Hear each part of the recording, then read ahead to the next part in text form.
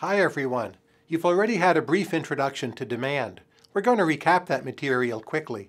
Then we're going to look at new material, including two different ways of reading the demand curve, how demand curves shift, and consumer surplus. Okay, let's go.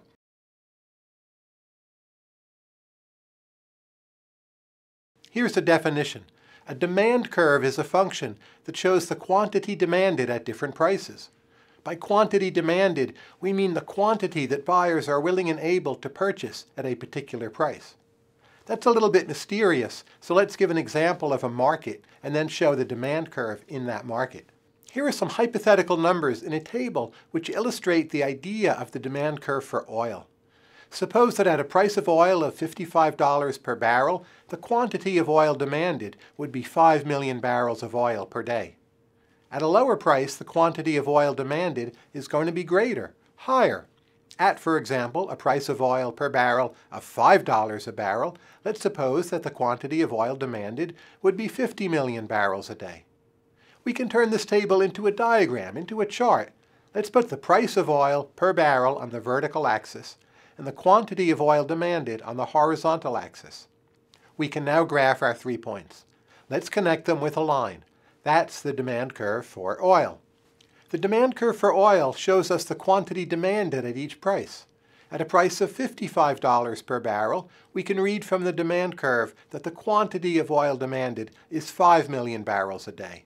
At a price of $20 per barrel, the quantity demanded is greater, it would be, in this case, 25 million barrels of oil per day. At a price of $5 per barrel, the quantity demanded would be 50 million barrels per day. A key point of the demand curve is that it slopes downwards. That is, at a lower price, the quantity demanded is greater.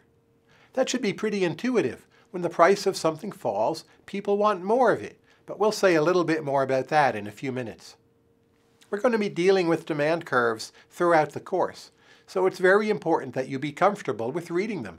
In fact, they can be read in two different ways. The first method, the horizontal method, is the one I've already shown you.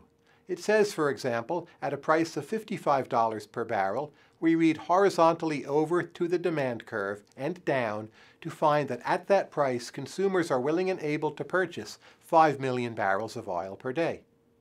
At a price of $5 per barrel, consumers are willing and able to purchase 50 million barrels of oil per day. The second way of reading the demand curve, the vertical method, begins at the bottom and works its way up. It tells us the maximum price that buyers are willing to pay for a particular unit of oil. We pick a quantity along the horizontal axis and we say, for this quantity, for the fifth millionth barrel of oil, what is the maximum amount consumers are willing to pay? We read vertically up to the demand curve. We find that for the fifth millionth barrel of oil, consumers are willing to pay at most $55 for that barrel of oil. Similarly, pick another quantity. For the 25th millionth barrel of oil, consumers are willing to pay for that barrel at most $20. Both the horizontal reading and the vertical reading of the demand curve are useful. For some problems, it's easier to solve the problem using the horizontal reading. For other problems, it's easier to solve using the vertical reading. It's important that you be comfortable with both ways of reading the demand curve. One further important concept for this lecture is consumer surplus. Consumer surplus is the consumer's gain from exchange. It's the difference between the maximum price a consumer is willing to pay for a given quantity and the market price the consumer actually has to pay. Total consumer surplus is the sum of the consumer surplus of all buyers, and graphically, consumer surplus is measured by the area below the demand curve and above the price. Again, that's a little bit mysterious and something of a mouthful, but with a diagram, I think this will become clearer. This will also give us a little bit of a chance to practice reading a demand curve vertically. So let's take a look. Let's begin as usual with the demand curve and let's pick a particular quantity. Let's remember from our vertical reading that the height of the demand curve at that quantity gives the maximum willingness to pay for that particular barrel of oil. In this case, the maximum willingness to pay for the barrel of oil indicated is a little bit below $80. Now suppose that the price of a barrel of oil is $20 per barrel, the willingness to pay is closer to 80 and the actual price is only 20.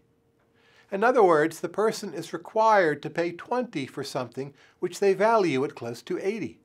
The difference between the maximum willingness to pay and the actual price is again called consumer surplus. In this case, consumer surplus would be a little bit less than 60 we can indicate the consumer surplus by this green area. That might be the consumer surplus of one particular person who happens to really value oil, and they value it a little bit less than 80, and they only have to pay 20, so their consumer surplus again is about 60. Another consumer might value the oil less. They have a less valued demand for the oil. Joe's consumer surplus is, let's say, down here. By adding up the consumer surplus for all consumers over all units, what we see is that the total consumer surplus is the area beneath the demand curve and above the price.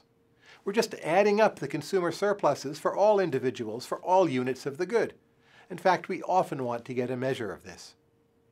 When we have a linear demand curve, it's easy to quantify this remembering from our high school geometry that the area of a triangle is equal to 1 half base times height, we can see that the total triangle here is 80 minus 20, so that's 60, times 90 divided by 2, or 2,700. This would be in millions, 2.7 billion. That would be the total consumer surplus from this market for oil. Again, we'll be using this calculation quite often, so just remind yourself of how to calculate the area underneath the triangle, which I know you're all familiar with. That's it for this lecture, but let me tell you what we're going to do next time, because we haven't finished market demand. What we're going to do next time is to ask, what could cause an increase or decrease in demand? An increase in demand is going to look like this, a shifting out of the demand curve. A decrease in demand will look like the reverse, namely a shifting in of the demand curve. We'll say more about that in the next lecture. For now, take a look at the course links. There'll be some questions for you to test your knowledge of what we've covered so far. And that is how to read a demand curve, and that is consumer surplus. Thanks. If you want to test yourself, click Practice Questions. Or if you're ready to move on, just click Next Video.